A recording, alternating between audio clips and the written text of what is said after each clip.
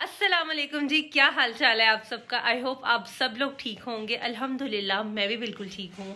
Welcome back to my YouTube channel तो आज मैंने सोचा, क्यों ना आप लोगों से फेस टू फेस बात की जाए। तो आज मैं जाने लगी हूँ अपनी पप्पो के घर और वहाँ है मिलाद शरीफ, वहाँ मैं इनवाइटेड हूँ। तो चले, मैं आप लोगों को भी साथ लेकर चलती हूँ।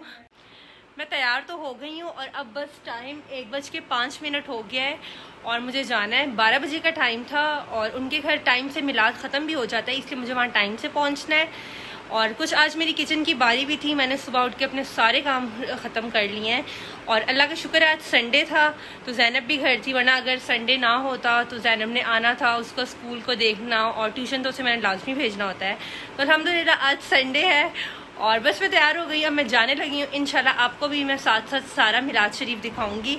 सो स्टे ट्यून्ड मैं अपने घर से तैयार होकर अपनी अम्मी के घर आ गई हूँ। मेरी और मेरी पप्पो का जो घर है, वो एक गली का ही फासला है। तो यहाँ मैं अभी अपनी अम्मी को लूँगी और फिर मैं उनके साथ जाऊँगी।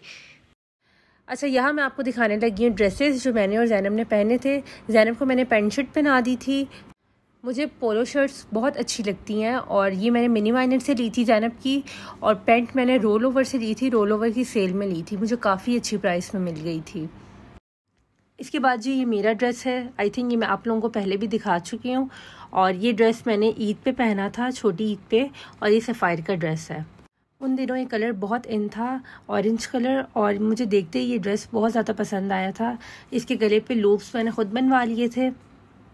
इसके साथ मैंने ये बैग कैरी कर लिया था. This bag is from Gul Ahmed and I just love this bag one of my favourite bags मैंने एक रात पहले ही तैयारी कर ली थी. मैं इसी तरह ऑर्गेनाइज रहना पसंद करती हूँ ताकि नेक्स्ट डे मुझे कोई परेशानी ना हो, मैं ईजी हो जाऊँ.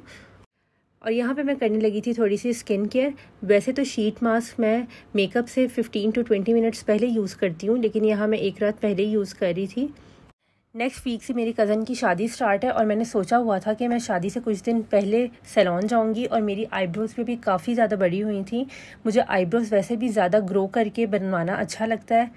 सैलॉन जाने की ज़रूरत थी, लेकिन फ़िलहाल मैं घर पे ही थोड़ी स्किन केयर कर रही थी। इस तरह के प्रोडक्ट्स छोटे मोटे मैंने रखे होते हैं ताकि कहीं एमरजेंसी जाना पड़ जाए और तो मैं इन्हें यूज़ कर सकूँ। मिनीसो के शीट मास्क बहुत अच्छे लगते हैं मुझे, मेरे मोस्ट फेवरेट हैं।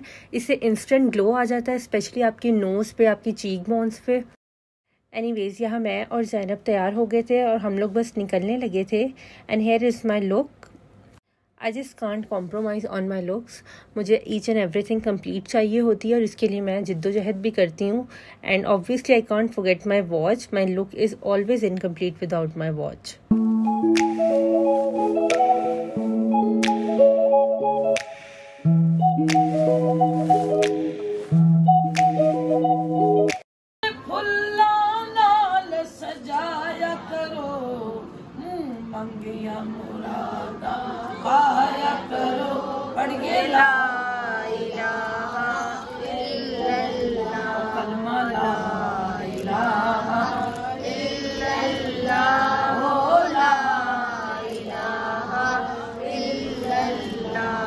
शहर मदीने अल्लाह सब जाइए।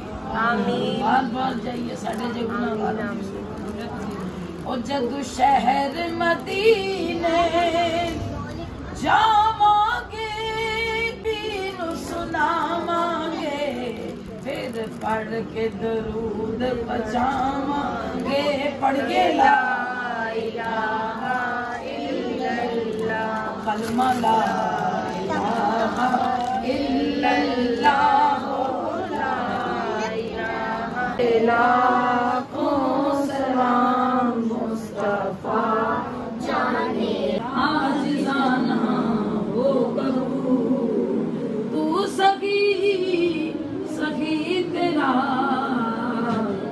दरबार है करम जियो तो बेड़ा पार है।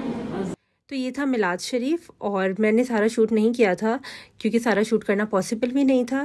So I just recorded a few clips for you guys ताकि आप लोग भी सुन सकें। बहुत मज़ा आया, बहुत अच्छा मिलाद था, अल्हम्दुलिल्लाह। और काफ़ी देर बाद हम लोग इकट्ठे हुए थे और वो होता है ना, एक शादी पे या आपके घर कोई इस तरह का गेट टुगेदर हो तो कज़न्स का एक अलग टेबल लगता है। तो यहाँ हम कज़न्स का एक अलग टेबल लग गया था खाने का। इसके बाद बस हमने बैठ के मिल के खाना खाया और बहुत बातें वगैरह की हमने काफ़ी देर बाद हमारा गेट टुगेदर हुआ था। अल्हम्दुलिल्लाह, बहुत अच्छा टाइम स्पेंड हो गया।